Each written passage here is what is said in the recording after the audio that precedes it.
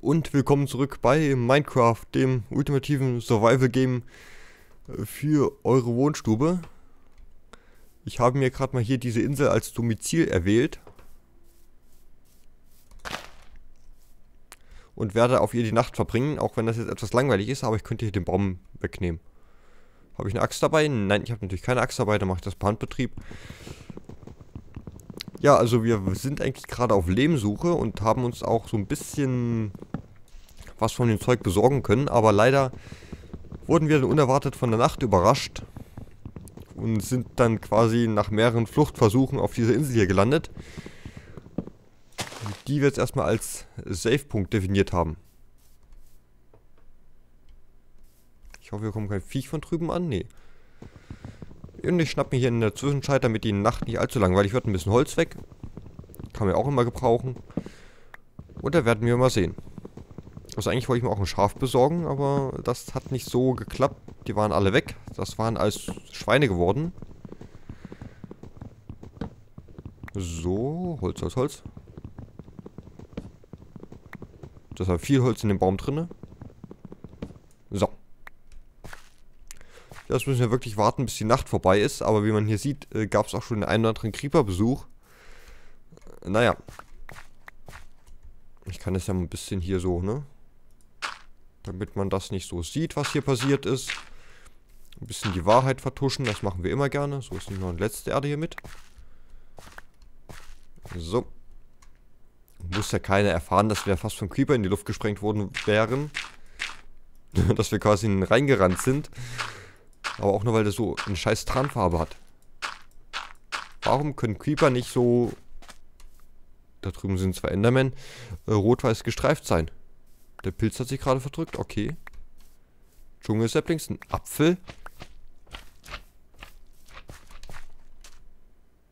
Was war das denn?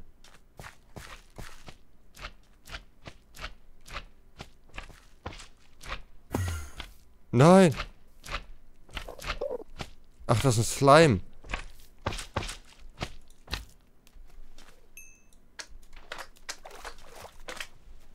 So, okay. Erstmal müssen wir den Enderman nicht angucken. Wir dürfen ihn nicht angucken. Äh, was ist denn das für eine elende Gakel? Und ich habe hier fünf Bäume aufgesammelt. Die gehe ich gleich mal auf der Insel anpflanzen. Einfach nur, damit ich hier irgendwas zu tun habe. Und ich hoffe echt, dass es bald Tag wird. Ich sehe dich nicht, Enderman. Ich sehe dich nicht. Ich bin schon weg. Aber ich kann mich jetzt auch nicht von der Insel runterbegeben, weil... Sag mal, wird das auch mal langsam? Oh Gott, es dauert noch ewig, ehe das Tag wird. Und der Enderman ist ganz in der Nähe. Ich gucke ihn nicht an. Ich bin nicht da. Hallo, hallo, hallo. Enderman? Okay, da drüben ist es einer, wo der andere hin ist, weiß ich gerade nicht. Da drüben sind die beiden. Oh je. Los, wer Tag. Ich habe keinen Bock mehr. Wie viel... Oh, also zum Glück haben wir einiges an Lehm gefunden. Den Pilz brauche ich jetzt auch nicht. Den kann ich auch mal wieder hinstellen. Kann man keine Pilze mehr hinstellen? Was ist denn das für ein Quatsch? Früher konnte man noch immer Pilze sonst so hinstellen. Habe ich zu welchen Knochen eingesammelt? Nee, wieder auch nicht. Ah. Was ist denn das für ein Arschloch? Spawnt diese Mistfigur einfach hinter uns?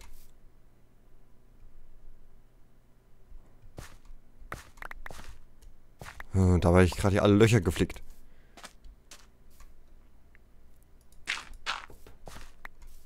Äh, also ich würde echt gerne den Tag an der Stelle vorziehen.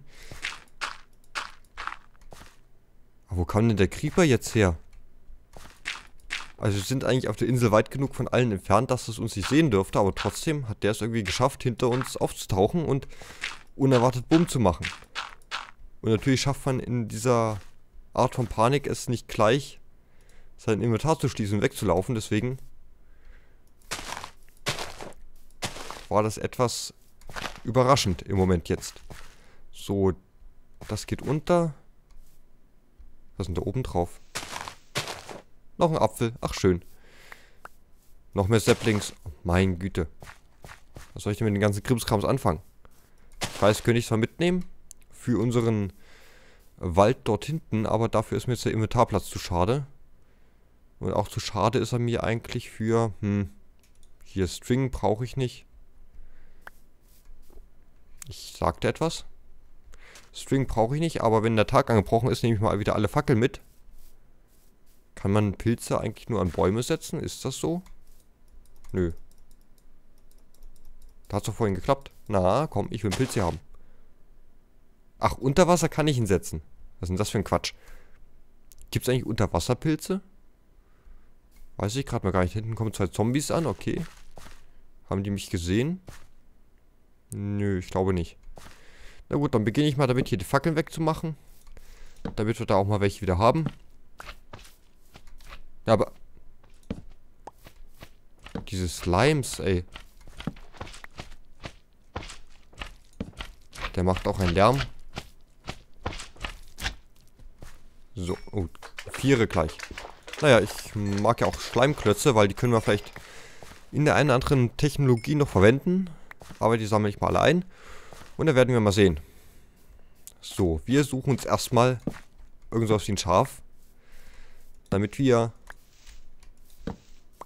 Also wenn es irgendwo raschelt, bin ich schon sehr nervös. Also wir suchen uns ein Schaf. Da oben sind Schafe. Yay. Schafi, Schafi, Schafi, kommt mal her. Und das ist ein Dschungel sogar. Ui. Habe ich eigentlich ein zweites Schwert? Nee, ne? Hm. War wieder sehr schlau von mir. Egal, ich begebe mich da erstmal in Land und hole mir da mal ein bisschen Wolle von so einem Schaf runter. Und baue mir daraus erstmal ein Bettchen. So, ähm... Das hier. Und dann werden wir uns mal ein Schäfchen vornehmen. Na, komm her, du. Ich bin der lustige, hüpfende Schäfermann und du hast gleich weniger Wolle dran. So, und da ich gerade mal dabei bin, nehme ich auch gleich mal ein bisschen mehr Wolle mit. Kann ja nicht schaden. So, mal gucken, wo bin ich denn hier überhaupt? Ähm, ich bin so quasi ein Ausläufer in der Berggegend, würde ich behaupten. Weil da hinten ist ja die Stadt ungefähr. Denke ich mir. Äh, egal. Wir haben ja immer noch den heiligen Auftrag, uns ein Bett zu basteln. So hier. Ähm, hm, hm, hm, hm Achso, ich mache ja auch ein bisschen Blödsinn. Erstmal muss ich ja das hier machen. So, so, so, so, so. Na, so, so. So, so, so. So, so, so. Wenn ich zu viel so sage, dann kann das sein, dass ich doof bin. Mann, ich kriege nicht mehr hin, ein Bett zu bauen. So, so, so. Genau. Haben wir ein Bettchen, das können wir da mal unten drinnen lassen. Dann haben wir noch ein bisschen Wolle. Wir haben noch ein bisschen Planks. Die mache ich gleich mal zu Stickies. Einfach nur, damit sie sich besser ins Inventar einordnen. Das eine Holz kann weg. Oder auch nicht. Und den Rest behalten wir erstmal so drinnen, bis wir wieder Platzprobleme haben. So, ich habe ja irgendeine Schippe hier, die gleich kaputt geht. Wenn die kaputt geht, haben wir wieder einen Platz frei. Das ist eigentlich ganz gut. Und ich gucke mal, was die Gegend hier so zu bieten hat. Ich meine, wir haben ja einen äh, Wüstentempel, haben wir. Und einen Dschungeltempel so wäre auch nochmal nicht schlecht, den hier zu haben. Aber man weiß es halt nicht. Und eigentlich wollte ich ja Leben suchen, aber ich strödel halt auch mal gerne durch die Landschaft. Schub, schub, schub, schub. Da ist ein bisschen Kohle in der Wand, die können wir uns vielleicht auch gleich mal mitnehmen. Diese Schweine. Hier ist einiges an Kohle in der Wand und auch ein Höhleneingang. Da gucke ich erstmal, ob der safe ist. Der ist leider nicht allzu safe. Das finde ich jetzt nicht so geil. Und der ist auch relativ groß übrigens. Ähm...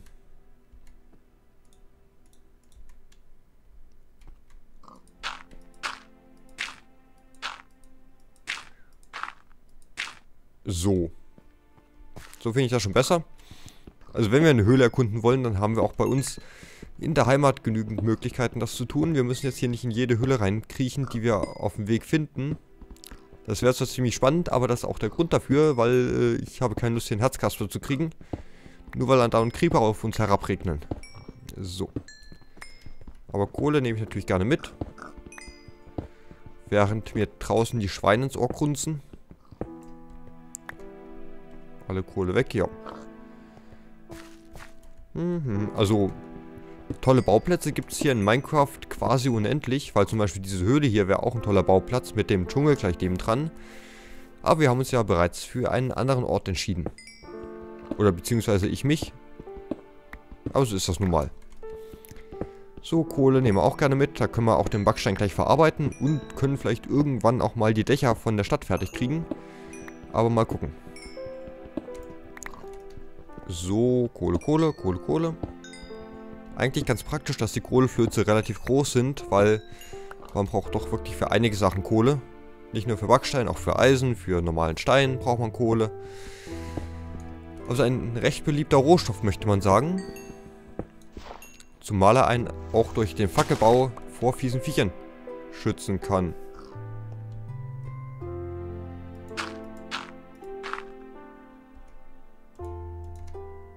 So. Also ich baue immer gerne irgendwelche Eingänge, von denen ich nichts wissen will, zu, weil dann kommt da nichts rein und da kommt da nichts raus und das finde ich ganz gut. Erinnert mich gerade so ein bisschen an Tom Sawyer, falls äh, die Geschichte jemand kennt. Von lieben Herrn Twain, von Mark Twain. Und da ging es ja auch in gewissen Teilen darum, dass halt bei einem Schulausflug Teile einer Klasse quasi in eine Höhle zurückgeblieben sind. Das heißt, zwei Leute quasi und die mussten sich da auch durch diese Höhlenstruktur herausfinden und das war eigentlich relativ spannend geschrieben. So. Ich glaube, das zweite Buch, was ich von dem Herrn Twain eigentlich gelesen habe, war ein Yankee an König Arthurs Hof. Auch so ein bisschen humoristisch gehalten. Also man muss sich halt vorstellen, wenn ein Mensch des 20. Jahrhunderts quasi, des späten 20. Jahrhunderts, durch einen blöden Zufall auf einmal im Mittelalter von König Arthur landet. Das war ja noch so ein bisschen vor Mittelalter. So ganz frisch ist der Knabe ja auch nicht.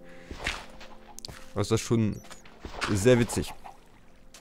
So, jetzt muss ich mal gucken, ob... Äh, Schippe kaputt. Äh, neue Schippe an Start, wir haben ja genug. Und dann geht es hier mal weiter. Ich mache das mal von hier oben, wie gesagt. Dann sehen wir besser, was abgeht. Ich bin jetzt sehr, sehr vorsichtig, wenn ich irgendwo ins Wasser runtersinke, weil es kann ja sein, dass das unser letzter Absacker gewesen ist. Ich glaube, langsam haben wir auch erstmal einiges an Lehm gesammelt, aber den Dschungel möchte ich mir gerne doch nochmal angucken. Äh, zack. Man müsste echt so eine Taucherflasche hier bauen können, aber das würde nicht ins Ambiente passen. Das wäre ein bisschen schade. Äh, wir haben keinen Platz mehr. Wir haben Platz. So. Äh, ja, ja, ja, ich weiß doch. Mann. Oder ein Schnorchel zumindest. So, wie viele Stacks haben wir jetzt eigentlich? Wir haben... Ja, man sollte nicht im Wasser ins Inventar gucken, das ist nicht so gut. So, wir haben jetzt ähm, hm, hm, hm, einiges an Stacks. Also ich gucke mir nochmal den Dschungel an, dann reteriere ich wieder zurück, würde ich sagen. So, äh, Brot hatte ich auch noch irgendwo, aber ich fresse mal die komischen Melonen lieber. Weil die halten sich nicht so lange wie Brot. So. Dauert natürlich etwas länger. Da ist ein Wasserhuhn.